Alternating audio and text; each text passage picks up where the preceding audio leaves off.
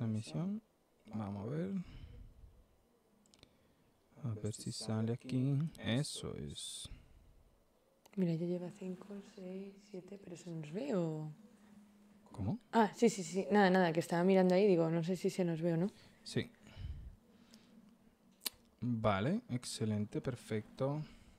Magnífico. Em, vamos a darle aquí. Ahí. Y déjame Ah, comprobar. sale.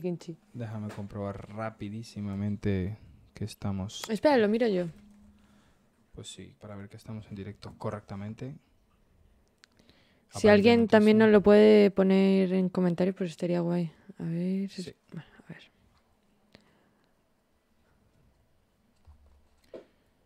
Y bueno, para quien vaya entrando, decirle que en este directo. ¿Sí? Sí, sí. Genial. Que en este Nice. directo lo que vamos a hacer es que vamos a charlar un poquito sobre, bueno, una cosa que ya dije en uno de mis últimos vídeos, que es sobre cómo encontrar tu estilo en la fotografía o en el vídeo. En, bueno, en cualquier tipo de expresión artística. Encontrar tu estilo, vaya. Eso es, encontrar tu estilo. En la vida. Exacto. Porque es una cosa que, mm, no, no recientemente, pero sí que tiempo atrás, eh, recuerdo que más de una vez me lo han preguntado. Oye, o me gusta mucho tu estilo, o cómo haces, recuerdo, re- que recuerdo un comentario muy concreto que fue, ¿cómo lo haces para encontrar tu estilo? Y yo pensaba en ese momento, pues yo no considero que tenga ningún estilo ni nada así. Entonces, claro, le di muchísimas vueltas a ese tema y pues es un poco lo que quiero que, co- compartir hoy aquí, que- hablando con Carla sobre este tema, porque bueno, creo que ambos tenemos cositas que aportar al respecto. Y nada, esa es la, la intención. Esa es la Eh, premisa, la hipótesis de, del Buenas, directo. Darkrai, muchísimas gracias por Hola. pasarte por el directo. Y todo se ve y se escucha correcto, genial, genial. Yo Qué me di bueno. cuenta de que se escucha un poquito doble porque creo que mi audio se mete un poquito por el micrófono de Carla, pero bueno, voy a intentar hablar cerquita del mío y, y ya está. Y bueno, lo dicho, esa es la intención, eh, hablar sobre esta temática, darle las gracias a todas las personas que se pasen por aquí por el directo y también para quienes lo vean después de, de que se haya emitido. El directo lo he preparado un poco deprisa y corriendo, eso es así. Antes estaba trabajando y no me ha dado tiempo a dejarlo preparado como me hubiera gustado. Pero el bueno. viernes, bueno, el, el viernes o el jueves fue jueves imposible. Sí, el jueves pasado, que era mi intención de hacer este directo, no fue posible. Así que bueno, vamos a hacer el intento ahora. Y bueno, lo dicho, el tema de- del estilo, hablar sobre, sobre el estilo en la fotografía, en el vídeo, en cualquiera de, de En cualquier estas- ámbito. Exactamente. Em, eh, y bueno, antes de nada también decir que podéis ir dejando cualquier comentario, cualquier cosa aquí en el chat o lo que sea, que lo vamos a ir respondiendo eh, según nos vaya dando el tiempo. y Con todo mucho eso. gusto. Exactamente, con muchísimo gusto. Y, y nada más, eh, el, eh, voy a arrancar directamente un poco con el tema y con la, la idea principal que tenía sobre esto. Y es que muchas veces, eh, mira, se lo llevó el viento. Hola. Hola, ¿qué tal? ¿Qué tal? que mm, la idea principal de todo esto es eh, surge por eso, por el comentario que, que- dije antes, que alguien me preguntó que cómo encontrar el estilo, ¿no? Y yo en ese momento me pregunté si yo ni, si- ni siquiera yo sé muy bien eso, o sea, yo, yo no lo he encontrado, ¿cómo voy a decirte a ti cómo lo vas a encontrar tú? Y ahí me di cuenta de que realmente eh, al final como que adoptamos a lo mejor no sé cómo decirlo por ejemplo cuando tú haces fotos. Mm, tú piensas, voy a hacer esta foto y tú tienes como claro el tipo de foto que vas a hacer, más o menos como tú quieres que se vea y al final como que seguimos esos patrones, ¿no? En plan, las cosas que nos gustan, la estética que nos gusta, eso es lo que buscamos. Y yo pienso que al final eso es lo que llamamos estilo, ¿no? Como el patrón que seguimos y eso puede cambiar a lo largo del tiempo. Que eso es lo que me parece interesante y bonito también, que tú veas tus fotos antiguas o tus vídeos antiguos y tú digas, wow, antes tenía otro rollo, antes tenía otro estilo, ¿no? Y no sé tú misma, por ejemplo, con estas últimas fotos que has estado haciendo, yo creo que queda muy claro como cuál es tu estilo, cuál es tu...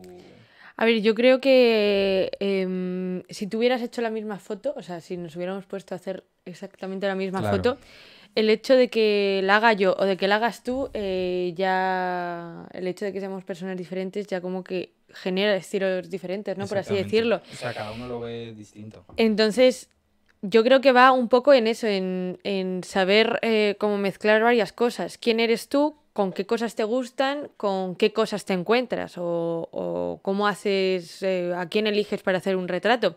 Entonces, yo creo que no hay dos estilos iguales porque no hay dos personas No, iguales. Incluso una cosa que yo he dicho en más de un vídeo, un saludo a Wiki, muchísimas gracias por, ¿Qué tal? por pasarte por aquí. Eh, sí, se pasó por aquí el gato, a él le encanta. En cuanto ve que estamos montando cámaras o cosas, le encanta subirse por la mesa y... Antes estaba el otro sentado en la silla y Sí, diciendo, pero bueno, nada, le, le eché, le eché bueno. de la silla. Que mm, precisamente por ahí va, va el tema. Yo creo que es imposible como que dos personas tengan el mismo estilo. Realmente yo creo que cuando utilizamos la palabra estilo nos referimos un poco en términos muy generales, pero incluso aunque dos personas tuviesen un estilo muy similar, si te pones a analizarlo detenidamente, te vas a dar cuenta de que, de que no es igual, de que cada uno tiene unos matices, unas cosas distintas. Sí, yo creo que muchas veces es como eh, que, em, ¿cómo se dice? Confundimos el estilo como con la corriente, Eso llamémoslo es. así, ¿no? La corriente, Corriente artística. es. Por ejemplo, yo creo que una muy notable fue, fue cuando Peter McKinnon se puso como muy de moda, esas fotos tan guau y de como de ese rollo. O sea, todo el mundo, bueno, no todo el mundo, no, un grupo de personas, por así decirlo, intentaba imitar ese estilo e Instagram se llenó de, de- Claro. de fotos de ese rollo. Exactamente. O sea, por ejemplo, eh, hay un en el mundo de la fotografía y del filmmaking y de cositas así. Cuando llegó Peter McKinnon a YouTube, eh, yo creo que él marcó como una tendencia, ¿no? Y al final eh, es normal que cuando estamos empezando como que intentemos seguir el estilo de tener referentes. Eso es normalísimo. O sea, tener referentes es lo habitual, no, no tenerlo sería muy raro. Tú tienes eh, ciertas figuras en el ámbito que a ti te gusta, fotografía, vídeo, música, lo que sea, que te gusta lo que hacen, entonces tú intentas imitar justo ese tipo de, de- de estilo, pero volviendo a lo de antes, como no lo vas a hacer igual, te va a salir tu versión de, de ese, de ese intento. Yo al final creo que está muy bien copiar para uno aprender ciertas cosas. Cuando tú intentas replicar exactamente algo, aprendes mucho sobre cómo se ha hecho esa foto o cómo se ha grabado X toma. Eso está muy bien para aprender, pero al final de, de tanto intentar y de probar cosas distintas, yo creo que al final es como uno va puliendo poco a poco su, su estilo. Yo al final, ho- hoy en día tengo como muy claro ¿no? el tipo de fotos que quiero hacer. Tengo muy claro cuando voy a hacer retratos, ya tengo una idea de- del tipo de retratos que quiero hacer. Y es porque ya he probado ¿no? muchas cosas y bueno, al final es como, ah, pues es que este es, el, este es el rollo que a mí me gusta, ¿no? Y hay mucha gente que me ha dicho, me gusta mucho el estilo de tus fotos. Y yo pienso, ah, pues no sabía yo que tenía un, estilo. estilo. Claro, porque realmente yo no lo pienso. Yo no pienso Es como el "Ah, acento de los madrileños. Tal cual. O sea, eso es una cosa que tú lo tienes como tan interiorizado que tú no lo, tú no lo percibes, solo lo puede percibir alguien de fuera. Entonces, a veces sí, a veces uno piensa, este es mi estilo, esto es lo que a mí me gusta hacer, esto es lo que a mí me gusta Joder, pues yo por transmitir". ejemplo nunca lo veo, nunca veo mis fotos y digo, oh, estas son de Es- muy, muy de mi rollo. Muy O sea, nunca miro, o sea, nunca veo eso. Claro, pero probablemente alguien cuando sí que vea tus fotos y que diga, ah, pues mira, esto es muy el estilo de Carla. O cuando vea eh, a lo mejor fotos muy similares a las tuyas de otra gente, dirá, ah, mira, esto se parece mucho. Que al final esa es otra. Eh, depende de la persona que tú tomes como referente de, de una cosa. Porque a lo mejor alguien toma como referente las fotos de Carla y dice, este es el estilo de Carla y ya todo lo que se parezca a eso se parece al estilo de Carla o al revés. Pero hay que pensar que nada es inventado, en plan, nada lo, inven- no. lo hemos inventado nosotros, siempre es como un refrito de un refrito de un sí, sí, o refrito. sea- Entonces, si tú haces fotos inspirándote en las mías, probablemente te estés inspirando en las de William Eggleston, porque claro, como yo me inspiro en esas, pues eh, es como... Eh, ¿Cómo se llama la ley? La propiedad transitiva. Bueno, espérate, un poquito del chat. Eh, sí, eh, Wiggy, no es que no te quisiera responder al chat. Vi el mensaje por encima, pero eh, como te digo, he preparado el directo de prisa y corriendo porque es que he estado trabajando hasta hace media hora prácticamente. Y, y así que no te preocupes que antes de irme a la cama hoy te contesto. Y sus estilos cambian, hacen fotos analógicas, eh, si sus estilos cambian, se hacen fotos analógicas o digital. Yo es que el digital lo pregunta. uso para unas cosas y el analógico para otras, así que sí. Yo generalmente en digital siempre hago lo mismo, que son Retratos. y en analógico hago un poco de todo, pero lo que menos hago son retratos, entonces pues sí que cambia. Claro, yo, yo creo que yo creo que ahí está la cosa. Yo, por ejemplo, ahora mismo lo que estoy intentando es eh, yo, yo no hago fotografía analógica actualmente, pero como salgo mucho con Carla a hacer fotos, pues digamos que estoy eh, adoptando una visión de la fotografía que solo la hacía cuando, pues, cuando, en el tiempo que estuve utilizando una cámara analógica. Y yo pienso que el cerebro también como que funciona distinto, porque la fotografía analógica, el proceso es diferente, va uno más despacio, tiene más cuidado a la hora de hacer la foto. A ver, depende de quién seas también. Claro, pero eso es a lo que voy. Yo, por ejemplo, ahora mismo... ¿le has dado ya No estoy acostumbrada a grabar con esto y le pego una- unos cates. Que... eh, vamos, la- lo de, perdón, interrumpi- interrumpido por el chat. Eh, lo de nuestros directos... Interrupción. Lo de nuestros directos, Wiggy, a ver, no sé a qué te refieres. Si te refieres a. a... yo creo que me cabreo. Tú vas más serio. Yo hablo. Es, es que este es mi tono normal. O sea, es que yo, yo soy así. Yo no soy muy. Bueno, le tenías que ver jugando al Fortnite o al Smash cuando le Sí. matan y ¡buah, tío! No sé qué. Bueno, supongo que será igual cuando, Sí, cuando juega sí. co- contigo, pero es como, hostia puta. Sí, sí, sí. Hola, Carly Manu. Dice Luis Payá que hay eco en el micro de él. Ya, parece que tengo eco yo, ¿verdad? Es, lo dije al principio, es que se mete un poquito. Tengo que hablar más bajito y más cerca del mío. Porque se mete mi, mi voz un poco en el micro de Carla y se crea ahí. No sé si es muy molesto, si no es así, es muy complicado de interesar. eh, es muy complicado de, de, corregirlo ahora mismo, por eso no, no me he parado a hacerlo. Mm, y bueno, pues eso, que el directo, a ver, intentaré hacer más directos en Twitch jugando, sobre todo al Smash Wiggy, porque es una cosa, de hecho, yo creo que es el motivo principal por el que me hice el canal de Twitch y al final solo juego a Fortnite. Para quien no lo sepa, eso, tengo un, canal de Twitch, me llamo igual, Manukant, me pueden buscar ahí, para quien quiera, para quien tenga Twitch o lo que sea. Yo no tengo Twitch, pero juego al Fortnite. Si alguien quiere jugar con nosotros, yo encantada. Es verdad, en Fortnite igual, creo que me llamo Manukant o Manukant barra baja, uno de los dos. Creo que sí, ¿no? Sí. Sí, algo así. Eh, vale. Em, seguimos, dice, hola Carla y Manu, tengo un problema y es que no encuentro lugares para revelar rollos de cine. ¿Saben de alguno? Soy de Vigo. Uf, de- Carmencita. Mira, ahora mismo hay eh, muchos laboratorios, digamos, grandes de aquí de España, están ofreciendo servicios de, de revelado a, a distancia, o sea, que tú lo puedes enviar el carrete directamente. De hecho, Carla revela en mm, Carmencita me han hablado unos cuantos y todos lo ofrecen. Sí, o sea, hoy en día hay muchos. Carla, por ejemplo, revela en Carmencita y ella los manda a Carmencita. Pero creo que hay otro. ¿Cómo se llama? Está otro de Barcelona que se llama Visual Corner. Mm, Y luego otro pequeñito que ha surgido que se llama Amigo. Eso, Amigo también. ¿Sí, Amigo? Amigo Lab. Amigo Lab, eso es. Que tienen ese servicio de que tú puedes enviarles el carrete. Yo te recomiendo que, bueno, a ver, de, solo sabemos los resultados de Carmencita. no Que a mí personalmente me parecen los mejores, por eso los envío ahí. Exactamente, es decir, el precio no es barato, pero tampoco lo es el de los carretes y los resultados son muy buenos. Entonces, yo lo que te recomiendo es que investigues. Hombre, ya que te dejas el dinero en un carrete de cine, pues está bien también pagar un revelado Claro, nice, en es, plan, es decir, enviarlo a un laboratorio que lo vaya a revelar correctamente. Y nosotros, te digo, no sé de los otros laboratorios, seguro que lo hacen muy bien, pero nosotros sabemos que en Carmencita lo hacen excelente. ¿Vale? Eh, luego, ¿qué más? Me, me interesa mucho... Mm, Aquí dice, me interesa mucho el tema de los componentes de los carretes. No existe nada en el mercado sin componente de animal, ¿no? Efectivamente, Alex, por eso no hago ya fotografía analógica. eh, porque no existe. Hay un proyecto de unas mujeres, creo que alemanas, que se pusieron a, a, a intentar inventar un carrete... eh, eh, intentar inventar un carrete sin componentes de origen animal, pero es un proyecto que está muy, muy en pañales. Eh, dice, suena mejor Carla, tiene eco. He intentado separar un poco esto, a ver si se te quita. Voy a intentar separar yo de ti. A ver si, a ver si, no sé, a ver si así, si no me salgo mucho, espérate que no, no lo veo. Em, el chaval tiene delay en el micro. A ver, perdona. Eh, estoy suscrito al canal, me gusta mucho, Luis Paya. Muchísimas gracias, Luis, de verdad.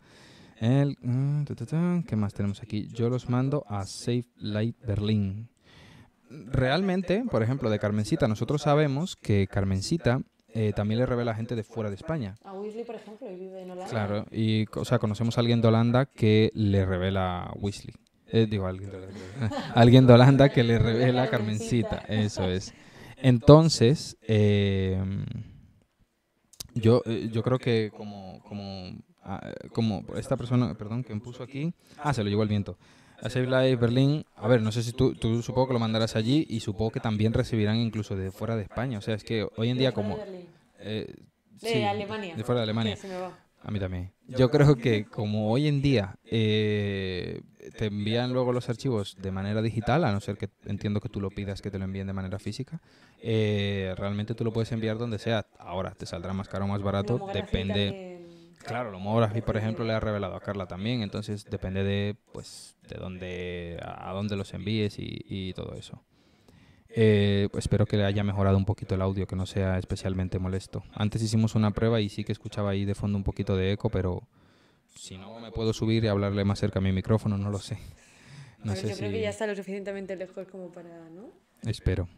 Eh, que no, que- agradecería que nos dijeran si, si suena un poquito mejor, si está un poquito mejor, eh, si es agradable de escuchar y si no es molesto. Investigaré a ver esas chicas alemanas. que, mm, vale, eh, bueno, continuamos un poquito con el tema. Lo que nos vaya dejando en el chat lo iremos respondiendo. Mm, va mejor. Muchas gracias. Se lo llevo mejor. Vale, gracias. Perfecto. Eh, lo, lo dicho, es que se me, mi audio se mete en el, en el micrófono de ella un poquito. Entonces, si le bajo el volumen a Carla para que no se meta mi, mi audio, tenemos este, este problema. Vale. Que mm, lo digo. Como eh, ¿se con lo de escucha? los estilos, en plan las corrientes. Se escucha mucho mejor, vale, muchísimas gracias. Vale, lo de los estilos, lo de las corrientes y todo eso, me parece que por ahí arriba se lo llevó el viento, dijo eh, algo así de, de lo de Picasso. Ah, sí. Sí, ese, ese es una, esa es muy famosa. A ver. Ah, me perdí. Bueno, lo de Picasso. Eh, hace un buen tiempo la- había una frase por ahí de Picasso que los buenos artistas copian, los artistas geniales roban o algo así, ¿no? Los genios copian, creo que era. Sí.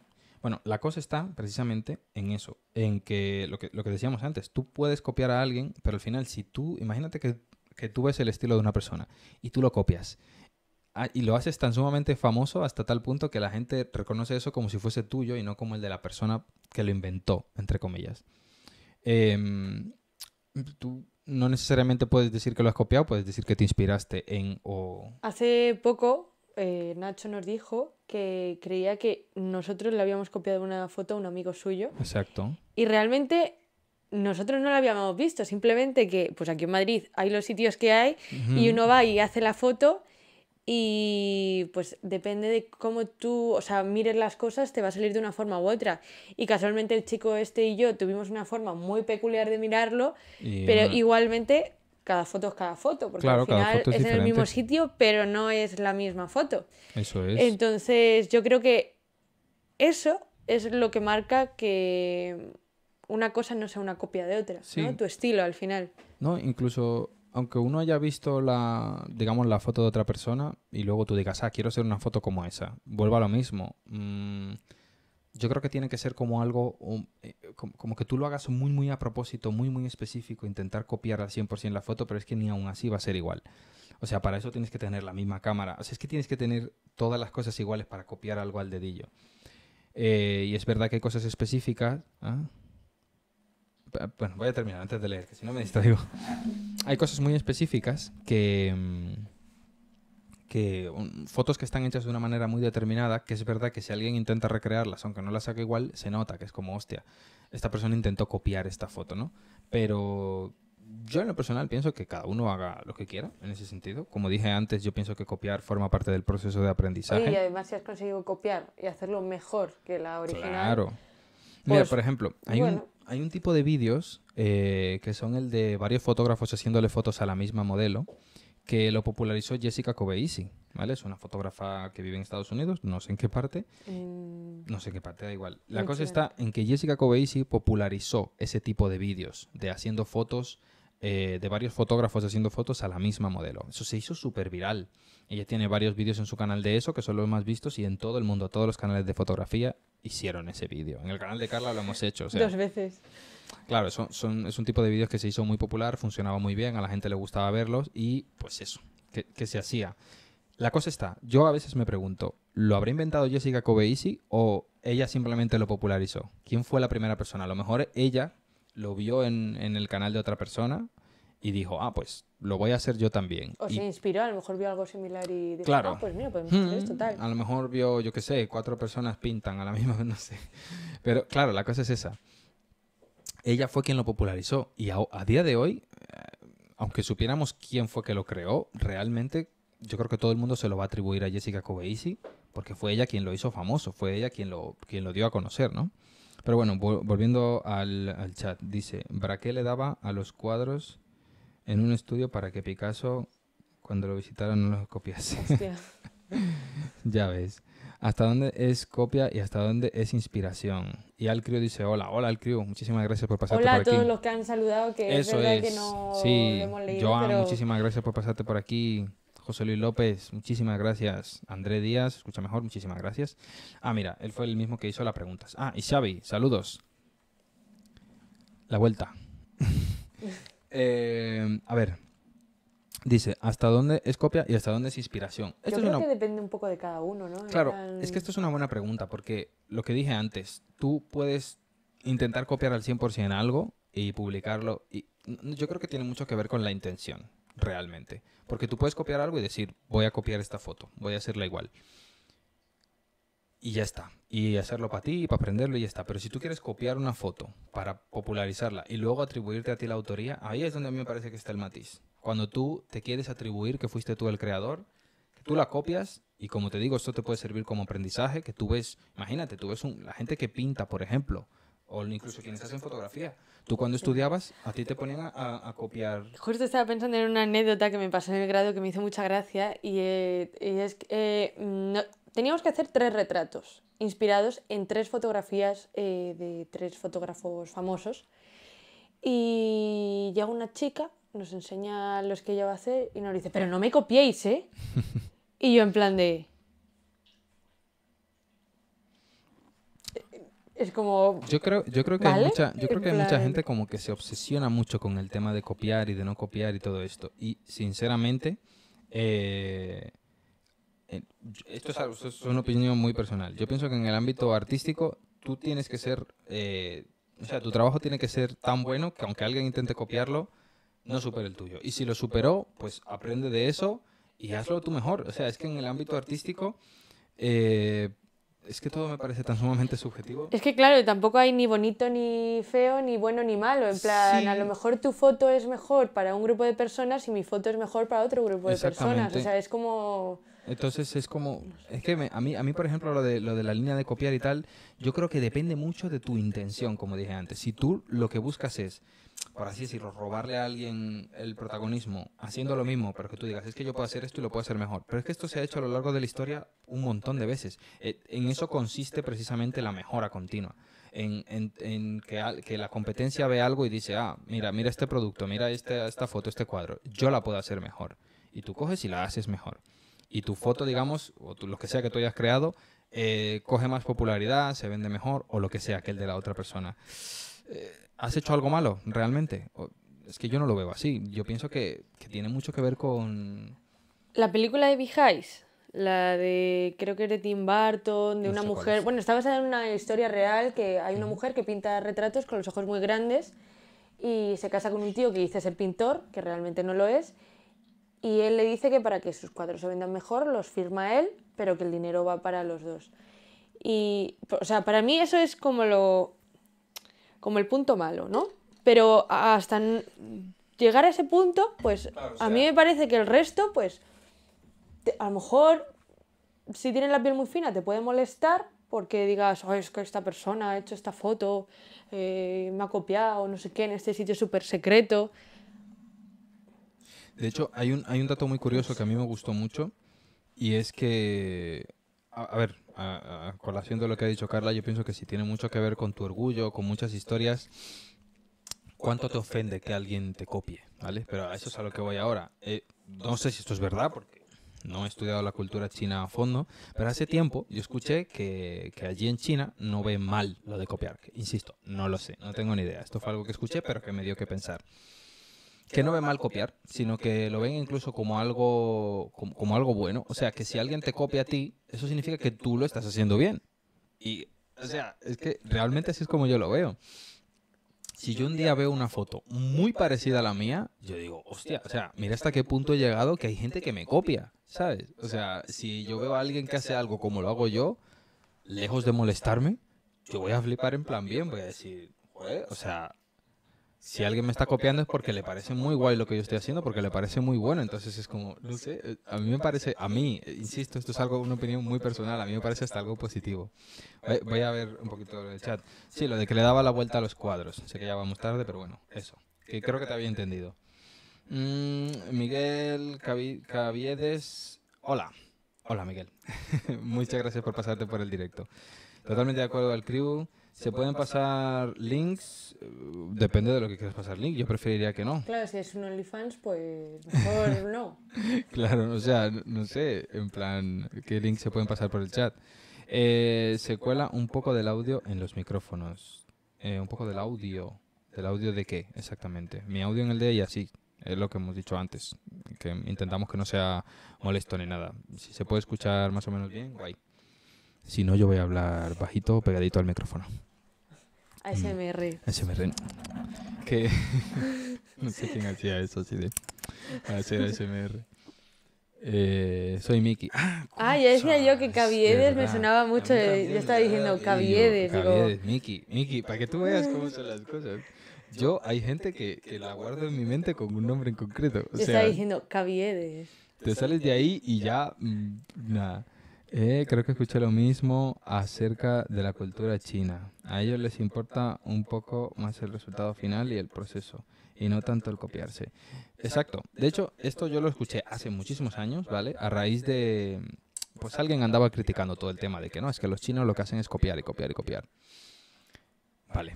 Eh, y sobre todo lo escuché en el ámbito de los teléfonos móviles, porque como que en aquella época, y hoy en día también pasa un poco, pero como que todos los teléfonos eh, que hacían en China, que todavía no habían llegado del todo aquí, eh, como que copiaban pues a móviles, eh, al iPhone sobre todo, intentaban copiarlo a saco. Claro, eh, mucha gente criticaba eso. Ah, no, es que este móvil se parece mucho al iPhone. Y yo pensaba, bueno, o sea, si vas a copiar, está guay que copies lo bueno. Lo O que sea, más se vende, no vas a copiar el móvil que no se eh, vende, Exacto, ¿no? En o sea, no vas a copiar la, no sé, lo que no vale para nada, lo que no es popular, lo que, no, copiar lo que funciona. Es como si a día de hoy pues copias una BlackBerry o algo que ya no se vende, en plan, pues no, copias el iPhone, ¿qué último iPhone? El 13, el- que haya salido el último. Pues Ujú. copias lo más Lo más reciente, novedoso, lo más lo, moderno, más, lo que más que se tú sabes que se va a vender. Mira, de hecho, eh, hay un señor que eh, ha dado una serie de conferencias hace años que me gustan mucho, que se llama eh, Emilio Duró. Y, y en, bueno, en el discurso que él tiene, que siempre repite el mismo, hay una cosa que dice que me parece muy interesante y que me gusta mucho. Y es eh, que si tú estás en una situación, esto lo voy a, a resumir mucho, si tú estás en una situación que a ti no te gusta de tu vida, es porque lo que estás haciendo no te está llevando a donde tú quieres estar. Entonces, si tú quieres hacer, si tú quieres conseguir otras cosas, tienes que hacer cosas distintas. De hecho, él dice literalmente, si, si comes zanahoria, ¿qué vas a cagar? Vas a cagar zanahoria. Si comes cebolla, ¿qué vas a cagar? No, si Cebolla. quieres, si quieres cagar cebolla, ¿qué vas a comer? si Si, quieres- sigues comiendo zanahoria, vas a seguir cagando zanahoria. Claro, si tú quieres cagar una cosa distinta, tienes que comer una cosa distinta. Entonces, lo que él propone es que tú, si quieres un cambio radical en tu vida, eh, veas cuál es la persona que está más cerca de eso que tú quieres conseguir y que cojas papel y y que copies todo lo que hace. Y cuando ya te conviertas en una copia de eso, pues a partir de ahí es cuando tú vas a, generar un cambio en tu vida, ¿no? Mucha gente dirá, ay, pues eso está muy mal. Aquí él dice una cosa que me parece muy interesante y él dice, claro, es que eh, yo quiero que, eh, que las cosas me vayan como yo quiero, siendo como yo soy. Claro, pero siendo como tú eres, no te está yendo como tú quieres ser, entonces tienes que cambiar. Hay mucha gente que ve como mucho problema con el cambio y con todo eso. Buah, cuando antes alguien te decía, guau, tío, es que has, Has cambiado. cambiado. Y es como, me preocuparía si de los 15 a los 25 no cambio. Claro, Que eso es lo que le pasa a mucha gente que dices, ¿tienes Luego- 40? Joder, pues te comportas como alguien de 17. Claro, la gente tiene que cambiar, tiene que ir creciendo y tiene que ir aprendiendo cosas. Y, y es que es lo mismo de lo que hablaba antes, de lo del estilo. Que tú veas el contenido que tú generabas hace tiempo y que tú notes que hay un cambio. Eso significa que tus gustos estéticos, que lo que tú has aprendido en técnica y en muchísimas cosas, ha ido cambiando a lo largo del tiempo. No necesariamente mejorando, simplemente evolucionando se ha ido adaptando a ti y eso está genial, o sea, eso es perfecto, que tu estilo vaya, que tu estilo se parezca más al de esta persona, al de esta- eso da igual, o sea, tú tienes que ir haciendo lo que te gusta eh, y ya está. Y digamos una respuesta a lo de cómo encontrar el estilo es haz lo que te lo que te apetezca, en plan, lo que te llame la atención. Yo creo que eso sale absolutamente solo. Y no yo, tienes ni que pensarlo, o sea, tú vas a hacer las fotos no sé, según tus gustos, ese es el estilo tuyo en ese momento. Y poquito a poco eso se va puliendo, se va puliendo, hasta que llega un punto en el que tú ya tienes muy claro cómo quieres hacer las cosas. yo creo que también es importante como tener ciertas bases, ¿no? En plan, eh, no es lo mismo copiarme a mí que copiar a mis referentes. Siempre va a ser mejor copiar como, ¿no? Por así decirlo, eh, si yo me fijo de- en algo y tú te fijas en mí, eh, como que ya va a ser algo basado en mí y no algo basado en... O sea, yo creo que es mejor, pues, si te gusta mucho la fotografía, buscar autores y autoras que te gusten Sí, sí, tener y referentes. mirar sus libros, mirar sus fotos por internet Total. y basarte en ellos, que al final son como los que han sentado unas bases en, pues en, en la fotografía en este caso, pero también puedes buscar, si te gusta el vídeo, pues buscas de- eh, gente que haya hecho vídeo y tal, que te guste y sentas unas bases en cuanto a eso. Yo creo que, pues eso, eh, primero sentas unas bases, luego lo tratas de imitar y de ahí, de, ese, de esa mezcla, pues sale tu estilo propio. Creo personalmente que seguir las modas no está mal, pero que si las sigues todas, pues al final, pues mm, al final es que lo único que estás haciendo es seguir modas. Mm. En plan, si seguías la moda de, de hacer las fotos como Peter McKinnon y luego sigues la moda de hacer Sí. típicas fotos en analógico a coches, a, a canchas de baloncesto y a mm, casas en la playa, en la Golden Hour. Pues al final te saldrán fotos bonitas, pero probablemente no sea tu estilo, porque si cada vez mm, solo lo único que haces es seguir una moda, pues al final no vas a conseguir tu estilo propio, ¿no? Tú puedes coger una moda que te guste y hacerla a tope, pero no, no seguir todas. Creo que ese es el problema que a veces hay. Y, es, y ya, eso, eso es. Estoy de acuerdo. Creo que eh, Rubén, muchísimas gracias por venir al directo. Ya lo he comentado un par de veces. Espero que no sea molesto lo del delay. Estoy intentando hablar lo más cerca posible a mi micrófono para que no se mete en el suyo, porque eso es lo que pasa, que se mete en su micrófono. Mira, me da cuenta que se ven todos los cables por ahí abajo. Pero bueno, eso. Que el link pasado es justamente eso. Ah, pues no se ve. No, aquí no ah, se- pero la cuenta es la de Analog Repeat. Yo el otro día la conocí por Jaime Olos, que también tiene un canal de YouTube. Y es flipante, en verdad. es que no hay nada nuevo, madre mía. A ver, voy a intentar. A ver, ah, filtro propiedades. Mm. A mí me llama la atención porque mi micro sale como en estéreo y el tuyo sale en mono. Propiedades de audio Yo creo que es por el tipo de Mm, micro que es, eh, al final. A ver, audio del escritorio. A ver, voy a poner esto en mono. Hola, hola, hola. Bueno, no sé. No sé si va a haber algún cambio, si va a mejorar. Ah, vale. Voy a leer los comentarios, ¿vale? Mm, Ah, ya, lo de la cuenta ya lo has respondido tú. Buenas, por fin vi ah, lo del directo. Vale, mira, ¿algún consejo para saltar de mi Nikon D3000? Ahora se oye bien. Ah, Ah, pues, a lo mejor es eso. Bueno, no sé. Yo voy a hablar cerquita de este micro y ya está. Vale. Eh, varias cosas que quiero mencionar antes de seguir. Uno, em, dentro de poco, probablemente mañana, pasado, no sé, esta semana o el domingo a lo mejor, voy a subir un vídeo de un unboxing de una capturadora, de, digo, una capturadora, Un transmisor de vídeo, ¿no? un transmisor de vídeo inalámbrico que me envió una marca. Tengo toda una historia con eso. Muy Es larga. Muy, muy larga con esa, con, con esa capturadora. Que no es el directo, no, no lo voy a contar aquí en el directo. Pero bueno, en otro directo puede que sí. Y la cosa está en que, bueno, tengo que subir ese vídeo de, de ese unboxing. Así que eh, apreciaría muchísimo que le dieran apoyo, que le dieran un buen like, que dejaran algún comentario. Realmente ese Y- tipo de vídeos eh, hay que apoyarlos especialmente porque son los que... Son los que menos visitas tienen y los que menos interés generan. Entonces, pues bueno, Nosotros lo sabemos, ¿eh? O realmente, sea, realmente, una cosa que hay que saber aquí, nos salimos un poquito off topic, eh, nos salimos un poquito del tema, eh, es que, el- por ejemplo, cuando una marca te escribe a ti para mandarte algo, muchas veces em, ellos confían ¿no? en que vas a tener una cantidad de visitas o lo que sea, o luego se fijan en eso, no solo en el contenido, y, y, pues, pues bueno, a lo mejor se decepcionan o lo que sea de si tiene pocas visitas, pero a veces es que los productos son poco interesantes de por sí o son cosas que la gente no busca mucho, ¿no? Así que bueno, eso, que voy a subir un vídeo de un transmisor de vídeo inalámbrico. Es un unboxing, básicamente. Creo que es ameno, creo que es entretenido. Nunca había hecho ningún unboxing para el canal. Así que espero que le den muchísimo apoyo. Eh, me alegra mucho que ya se escuche un poco mejor. No sé si es porque lo cambié a mono o qué. No sé, no sé. Bueno, no sabemos nada. no sabemos. Eh, mira, dice que ahora se oye bien y que mejor ahora. Pues genial. Eh, y otra cosa que iba a decir también. Lo de, lo de aquí. Dice, ¿algún consejo para saltar de mi Nikon de 3500? Solo haré fotografía. Saludos desde Bolivia, cracks. Saludos desde Madrid. Para ti, Giovanni. Ah, Giovanni. ¿Qué te iba a decir? Eh, ¿Qué quieres saltar? ¿De tu Nikon D3000 a otra cámara full frame o algo así? Porque si solo vas a hacer fotografía mm, y tienes objetivos ya, yo te diría que te mantengas con Nikon, que te compres una D750, que es una cámara increíblemente buena. Pesa bastante más, tenlo en cuenta. Sí, pero vamos, que vas a estar más que contento con ella.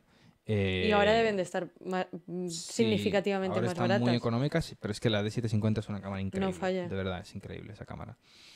Eh, ese sería mi consejo si no te quieres gastar mucho dinero y quieres tener una buena cámara que dé una buena calidad y que te dure, vamos, hasta aburrirte de Si ella. solo vas a hacer fotografía, yo no me molestaría ahora mismo en saltar a mirrorless, ni Sony, ni Panasonic, ni Canon, ni nada. Yo me mantendría ahí mismo para seguir aprovechando los objetivos que tienes.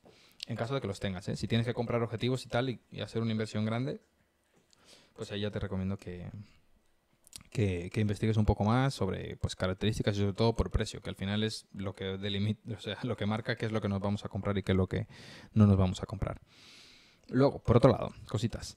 Eh, volviendo a lo de copiar, a lo del estilo y a lo de todo eso, que es el tema principal de- del De- directo. del directo. Eh, yo pienso que, que al final, eh, y, y que me corrija alguien del chat si piensa lo contrario, yo creo que al final, insisto, en, la, en el tema artístico, ah, ya sé, era volviendo a lo que tú estabas diciendo antes de las tendencias. Cuando hay tendencias, mucha gente se suma a esa tendencia, ¿no? En plan, todo hace- todos hacemos a saco lo mismo, así es como funciona. Está de moda hacer este tipo de fotos, la gente hace ese tipo de fotos. Y eso está bien, insisto, todas las cosas nuevas que vayamos haciendo en nuestra trayectoria como fotógrafos, como filmmakers o lo que sea, lo único que va a hacer es enseñarnos, o sea, que aprendamos un montón de cosas. Yo cuando veo gente que es mucho más mayor y que, eh, no sé, yo siempre digo que existe lo que se llama foto de padre, ¿no? Que son las fotos Dios. típicas que hacen los padres, ¿no? La del Lidl del otro día. La que había en la pared con Ah, una parte claro. saturada. Sí, sí, sí. ese- Es- ah, ese tipo de fotos que tú ves y dices, hostia. Esto lo ha hecho una persona de más de esto es 50 muy- años. Muy de padre. Entonces, claro, ese tipo de fotografía yo creo que, que es como muy característica de la gente mayor, pero porque ya pues han llegado a un punto en el que les gusta pues unas cosas concretas, ¿no? O al contrario, eh, una cosa que yo he pensado, es como lo de la ropa también, como que a lo mejor esas personas llegaron hasta ahí porque eso era lo que les, lo que les molaba un montón en su época y, y ahora que pueden hacerlo, lo hacen. El otro día vimos a una persona, un señor que tendría cincuenta y tantos años y iba todo vestido heavy metal. ¿sabes? El que eso- eso por, fue- por- por ópera. Todo heavy metal. Y tú, aquí en España no es raro de ver, pero te llama la atención y tú dices, wow, en plan, mira este señor. Pero heavy metal 2000. En plan, Sí. esos pantalones como azules eh, desgastados, Desgastados. pero pitillos, pero que no son vaqueros, sino que son como de lastano. Eh, el pelo largo y demás. Y claro, tú piensas, esta persona mm, se mantiene muy fiel a esto, ese es el gusto estético que le gusta y así se va a morir, no va a cambiar. Y hay mucha gente que valora mucho mantenerse en, digamos, de eso, ¿no? Como que de una forma, no evolucionar, lo consideran como auténtico. Y yo en lo personal, como dije antes, como dijo Carla, para mí está muy bien encontrarte con alguien que no ves hace mucho y darte cuenta de que ha cambiado. Y eso va aplicado también al estilo, aplicado a todo. Yo creo que es muy bonito que no nos estanquemos, que, que no, no le tengamos miedo a probar, porque así es como poco a poco iremos encontrando pues el estilo para... Dice, vaya parte guapo. ¡Hey, Pablito! Muchísimas gracias por pasarte por el directo. Y, y, pues eso, yo creo que, que poquito a poco es como uno va, no sé, eh, me llegan un montón de referencias a la mente, de verdad. Hay un episodio de Bob Esponja. Creía que iba a decir algo de los Simpsons. Bueno, a ver, también, pero bueno, hay Bueno, un de episodio Bob Esponja. de Bob Esponja. A ver, Bob Esponja es... Joder, ahora cada vez que hablamos de Bob Esponja pienso en J Balvin y Residente. No, bueno, ese, ese tema. Tema de actualidad. que hay un episodio, hay un, breaking news. Hay un, un episodio de Bob Esponja, ¿vale? Que, mm, que bueno, que Cala- Calamardo hace, aquí se llama Calamardo también, Sí, claro. que Calamardo, él, él siempre como que es el artista, ¿no? De la serie, él siempre hace cosas artísticas, hace música, lo de tocar el clarinete y además en un episodio él también eh, talla en mármol, ¿no? Tienen un bloque de mármol y él tiene que tallar cosas, ¿no? Pues el caso es que Bob Esponja, no recuerdo por qué situación, quiere aprender a, a tallar en el mármol. Y Calamardo le está enseñando, ¿no? Y Calamardo le va explicando que él tiene que ir quitando poco a poco cosas hasta ir dejando la, la figura que él quiere tallar, ¿no? Que lo, tiene que quitar lo que no va y dejar lo importante. En eso consiste tallar. Pues esto es lo mismo. O sea, realmente eh, esto es lo mismo. Cuando tú vas aprendiendo, cuando tú vas probando cosas, tú lo que vas haciendo, por así Es decirlo, es, esculpir. es esculpir, es ir quitando cosas que no, que no, que, que no son, que no, digamos que no son tu estilo, que no son tu rollo, y ir dejando, por así decirlo, esa escultura que lo, lo, lo bonito también que me parece de esto es que puede ser un proceso que se dé muy rápido. Hay personas que muy, muy rápido en su vida encuentran un poco un, un estilo y se aferran a eso y les encanta y son felices. Y sin embargo hay personas que se pueden pasar toda la vida buscándolo y no hay ningún problema, está súper bien. Ambas opciones son geniales. Eh, yo creo que es un proceso muy bonito, que es un proceso que hay que vivirlo y que hay que ir poquito a poco, pam, pam, pam, dándole, dándole caña a eso. Ya se escucha mucho mejor, genial. Muchísimas gracias. La verdad es que me alegro mucho. Eh, hoy es la primera vez además que conecto dos micrófonos a la vez y era una locura, en plan, quería que sonaran bien y, y bueno. ¿Qué pone por aquí, Giovanni?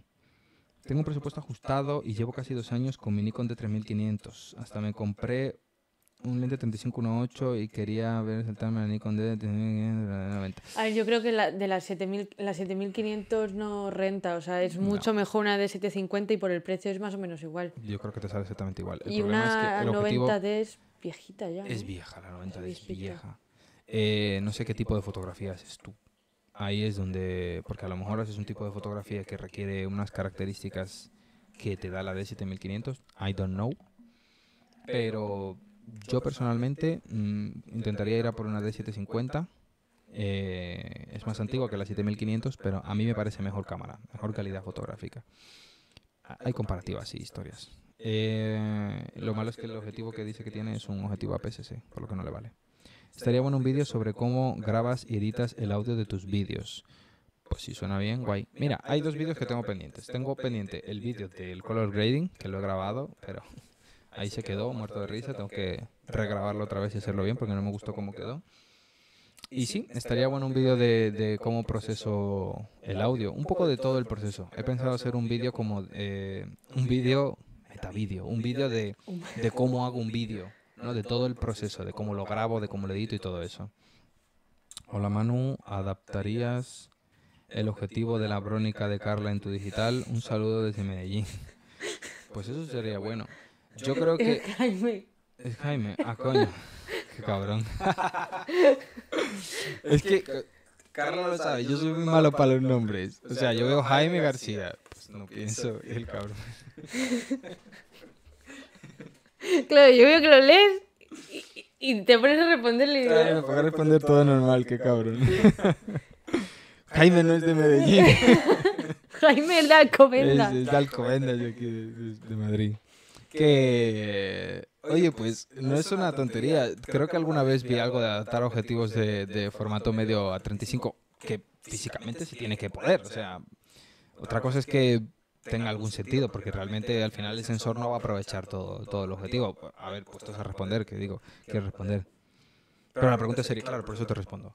Eh, voy a buscar, voy a buscar. Realmente para la cámara que estoy usando yo ahora mismo, como la montura, bueno, la montura es famosilla porque es Leica L, pero no sé si habrá un adaptador de Brónica, no sé ni si cómo se llama la montura, no tengo ni idea. de Brónica a... Sensanón es el Sí, objetivo. porque además la velocidad de eso se cambia en el... No, la velocidad se cambia Ah, sí, sí, sí, en la rodita sí. Eh, vale. Pues puede ser, puede ser. Voy a investigarlo. Buah, para encontrar el, adaptador de Minolta Nikon, anda que no dimos vueltas. Madre mía. Ya ves, de Minolta Nikon. Ah, lo puedo vender porque no lo uso. Si alguien Perfecto. quiere un, de si alguien quiere un adaptador de Minolta Nikon, que me lo diga. Rubén, sí, los dos micros son USB. Los dos micros están conectados por USB. De hecho, el portátil en el que lo, estoy- lo tengo ahora no tiene, solo tiene dos puertos USB y un puerto USB-C que es el que tengo la capturadora. Entonces, pues bueno, estamos aquí eh, aprovechando todos los puertos de- del portátil, como buenamente se puede. De hecho, el trackpad. Sí, sí, o sea, yo odio con todas mis fuerzas utilizar el trackpad de... A mí me gusta usar un, un mouse de toda la vida y no puedo, ahora tengo que hacerlo todo así. Pero bueno, no pasa nada. Yo creo que, a ver, ahora entiendo que se escuchará bien. Igualmente, como digo, el directo lo monté un poco deprisa y corriendo. Pero bueno, mi intención es, es que... Mira que se lo vea. cambiaste de día y aún así le digo, bueno, directo a las 9 y me dice, Hostia. hostia, y yo... Bueno, y decir que ha sido mi madre la que me ha puesto por eso. O nos vemos ahora a las 9, ¿no? Y yo, verdad. Uh, y yo, no terminado- sí. yo no había terminado de trabajar. Yo ahí mandando correos. Pero bueno, eso. Mi madre es nuestra manager. Sí, sí, sí. Eh, María García, ¿SM? Sí. Eh, ¿qué tal, M? Tenemos Tal que María. vernos, por Sí. favor. La típica frase. No, no, no, pero yo lo digo en serio. Yo cuando Sí, digo sí. tenemos que vernos es porque Tenemos tenemos que que vernos. Vale, mira, eh, de hecho, eh, volviendo a eso, antes me llegó a la mente una frase que es como la típica foto, que lo estuvimos hablando. Bueno, eh, spoiler. No hago spoilers. O sí, No. O sí, bueno, con Jaime, ¿hacemos spoiler, Jaime? que el, eh, lo de la típica foto, ¿no? Em, hay muchas fotos que, que la- que las hemos hecho todos en algún momento. Cuando nos vamos de viajes, te vas a Francia, vas a hacer una foto de la Torre Eiffel. Eh, ¿Por qué en esos contextos? Eso, eso sería Claro. interesante plantearlo. ¿Por qué está bien eh, que tu madre te haga una foto con la Torre Eiffel? Y la madre del vecino también le va a hacer una foto con la Torre Eiffel. La madre no sé quién y la madre no sé cuántos. Y eso como que, ah, está bien, ha ido. Pero sin embargo, si yo hago una no es foto co- desde no un copiar. Claro, no es copiar, pero si yo hago una foto desde un Hmm. punto y otra persona va y hace la misma en el mismo... Sí es copiar. Eh, Ya, mira, pe- de hecho yo pienso que sí. O sea, imagínate que yo voy a un sitio. O sea, hoy en día ya no, porque todo el mundo se hace una foto en la Torre Eiffel cuando va. Pero imagínate que yo voy a un lugar que no ha ido casi nadie y yo me hago una foto y yo la subo a las redes. Hay otra persona que ve esa foto y dice, guau, quiero ir allí y me quiero hacer esa foto. Y se la hace. La persona que se ha hecho la primera foto dirá, me ha copiado. Es que eso no se llama copiar, se llama globalización. No, claro, o sea, te quiero decir, si tú has subido la foto, eh, no sé, es, es como si tú has publicado eh, eh, la imagen, eso no significa que le dé derecho a la gente a hacer lo que quiera con ella, pero eso significa que cualquiera eh, que sepa cómo llegar a ese sitio tiene todo el derecho del mundo a, hacerse esa foto igual. Entonces, no sé. De hecho, lo que te iba a decir es eso. Hoy en día yo creo que no se considera copiar, hacerse fotos de la Torre Eiffel, porque pff, vete a saber a quién se le puede atribuir la primera foto de eso, ¿no? De, de- de- de esa típica foto de mamá, una foto que salga Saltando aquí con la Torre Eiffel sujetando, o sujetando la torre. o la Torre de Pisa, las fotos que hay de un montón de Sí, gente, la- la gente- así. La gente empujándola. Claro, o sea, e- ese, ese tipo de fotos es como que tú no piensas, uh, mira, le ha copiado a, no sé, a, no sé, a Dimitri, que fue el primero que viajó y se hizo allí. No, no sé, no haces eso, tú simplemente... Y dices, ah, pues mira, fulanito de tal ha estado en París o en Pisa. Exacto, tú no consideras que haya copiado a nadie, porque eso lo hace todo el mundo. O sea, ¿qué pasa? Que cuando ya muchísima gente ha hecho lo mismo, ya se elimina el, el- la etiqueta El de... copyright. Exactamente, se elimina el copyright, claro, como tanta gente lo hace. No, es que es lo mismo de antes. Bueno, que dice Jaime lo de Cliffhanger. Eso es Cliffhanger, nada. Jaime va a subir un vídeo a su canal. Eh, nos vemos la semana que viene. Espera, hacemos como, ¿cómo se llama lo que hace Ibai y toda esta gente que dice, bueno, yo ya me voy, te- le voy a pa- os paso con no sé quién? ¿De qué? Ah, lo de... Lo que, por ejemplo, el otro día vimos que le hostear. hacía eso, hostear. Hostear, no, pero yo no, yo no sé si en YouTube ni siquiera se puede. Eso es No, pero que, en plan broma, en plan, Ah, sí, sí, hosteando el vídeo de Jaime. hosteamos a Jaime. Le pasamos aquí todos los viewers. Vale, mira, dice ah, que si nos vemos la semana que viene es una muy buena opción. Por lo, mí sí. hablamos, lo hablamos por chat. Dice, pues entiendo que el problema es la es al codificar la señal digital de cada micro, al hacer marcas distintas, uno procesa.